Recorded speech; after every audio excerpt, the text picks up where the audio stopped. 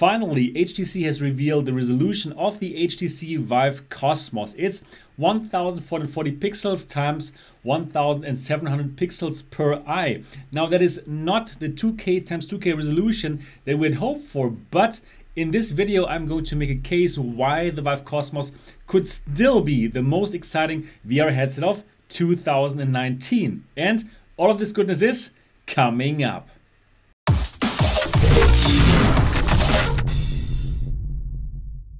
Hi and welcome to MRTV. My name is Sebastian Ang. If this is your first time here, if you're just as excited about VR and AR as me, then subscribe now and click on the bell button so you don't miss anything. Finally, HTC has revealed the display resolution and the display technology of their upcoming HTC Vive Cosmos. And as you can tell here, it's an LCD display and we have a combined resolution of 2880 times 1700 pixels. So per eye, it's 1440 times 1700 pixels. Now, this is not the 2K times 2K resolution that most of us had hoped for and that the HP Reverb actually sports, but I still believe that the HTC Vive Cosmos could be the most exciting VR headset of 2019, and let me make a case for it.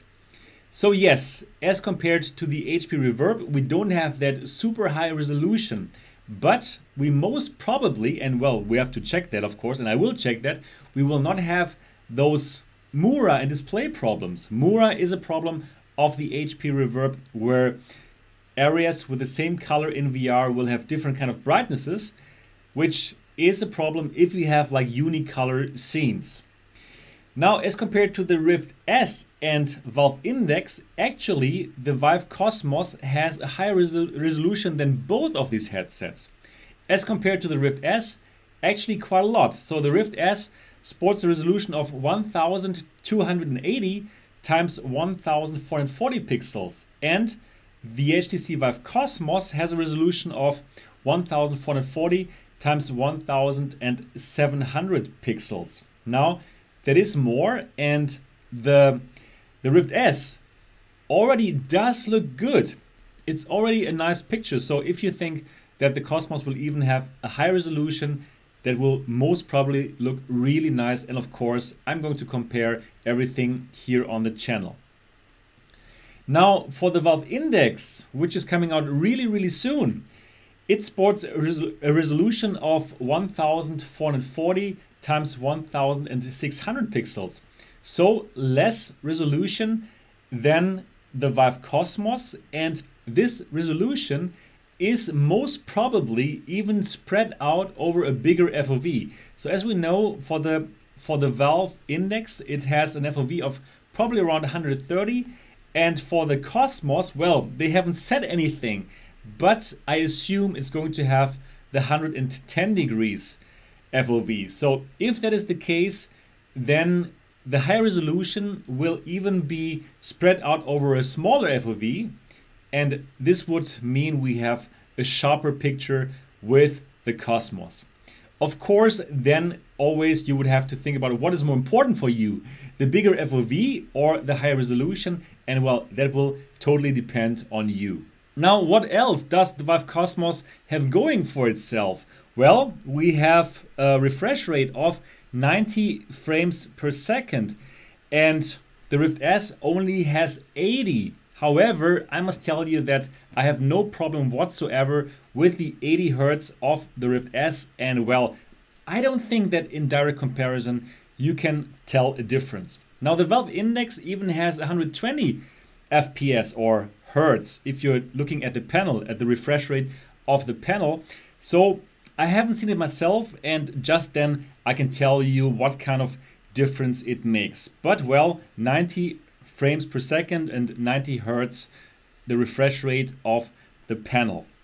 Then, for the tracking, as what the track, tracking is concerned, now we have six cameras as opposed to the five cameras of the Rift S. So if you simply would argue by the number of cameras that you have here with the Vive Cosmos, it's well, you would think that the tracking might be better of that of the Rift S, which only has five. But well, I will check that out for you and I will see if the tracking of the Vive Cosmos really is better than that of the Rift S.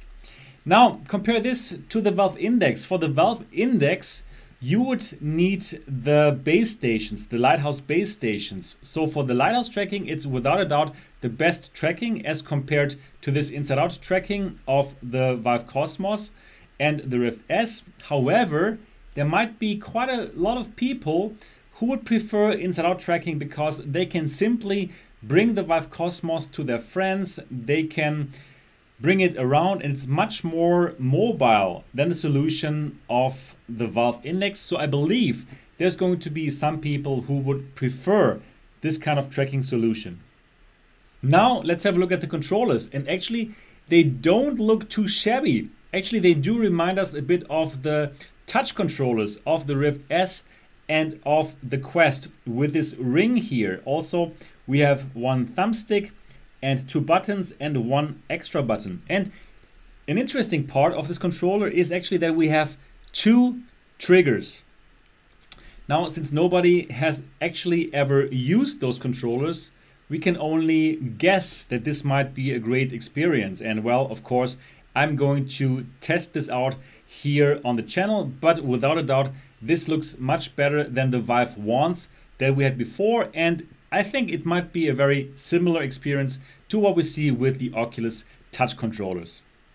Another interesting point that I want to mention where the Vive Cosmos distinguishes itself from the Rift S and from the Valve Index is that it seems to be the only headset that is built with 5G in mind, with our 5G future in mind. When in a couple of years all of us are streaming our content from the 5G cloud, it seems like that this headset might be able to get the content via a 5G mobile phone or some kind of upgrade kit as well.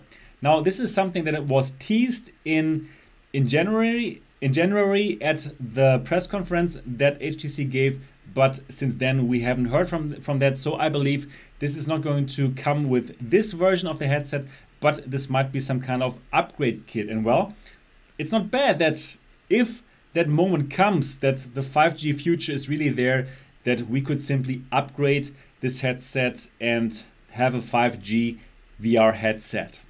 So overall, I believe that this could be an amazing headset, but I also see two big problems, and these two problems are price and customer service. Let's talk about price first. Unfortunately, HTC has not yet revealed the price, but we know that it's going to be under $900. So far, they've confirmed the information that I had received. So as you know, I received information that is going to cost 899 euros in the Eurozone, which would mean that it might cost around 800 US dollars. Now, of course, HTC is competing against the, the Rift S, which cost $399. So I believe even they wanted to price it at $799, probably they will price it at $749. Now, this is just my speculation. I believe it's going to be around $749 and I believe that they're going to give you several months of Viveport Infinity for free with this package. Now, let's assume that this price is true, $749 and probably in Euroland, let's say 849 euros. What would I think about this kind of price? Well, Without a doubt, it's a tough call because the Rift S is so cheap at $399. However, with these specs that we have here, we have a better device than the Rift S. So the Cosmos will look better than the Rift S. Probably tracking will also be better and we have a better audio solution.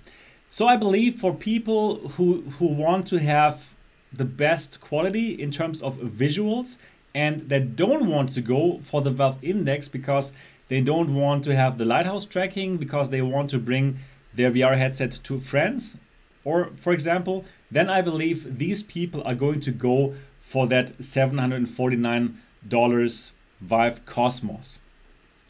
For lots of other people, I believe they will simply simply go for the Rift S since it already delivers great VR for a very, very reasonable price. So it's really, really tough to compete against the Rift S since Oculus can simply subsidize the device so much that it's so affordable. But I still think that there is going to be a market if the device is priced indeed at around $749. The second big problem that I see with the HTC Vive Cosmos is the Vive customer service because the Vive customer service is plain terrible. I personally made lots of bad experiences and I made videos about these experiences. Now, did anything get better after I posted these videos? Unfortunately, no. I still, until this very day, receive emails from disgruntled customers who turn to me as their last hope and last resort. So until now, still, the customer service is terrible. And actually, just recently, I had a problem with my Vive base stations, where the base stations, which is not even two years old, didn't work anymore. And HTC Vive, they did not replace it for me for free, but instead they asked for me to pay to repair that that device. So still until now the customer service is really really bad. But now I really want to hear from you. If the device costs $749, comes with 3 months of free Viveport Infinity, would you go for it even though the customer service is known to be bad? Please do let me know in the comment section below. If yes, tell me why, and if no, also tell me why and tell me for which other headset you're going to go for. I'm really very much looking forward to read what you have to say about the Vive Cosmos. Now, that's it for this video. I really hope that you enjoyed it. If yes, give it a thumbs up. And of course, if you've not yet subscribed to MRTV yet, do so now and click on the bell button so you don't miss any of my upcoming videos. That's it, and I'm looking forward to see you in the next episode.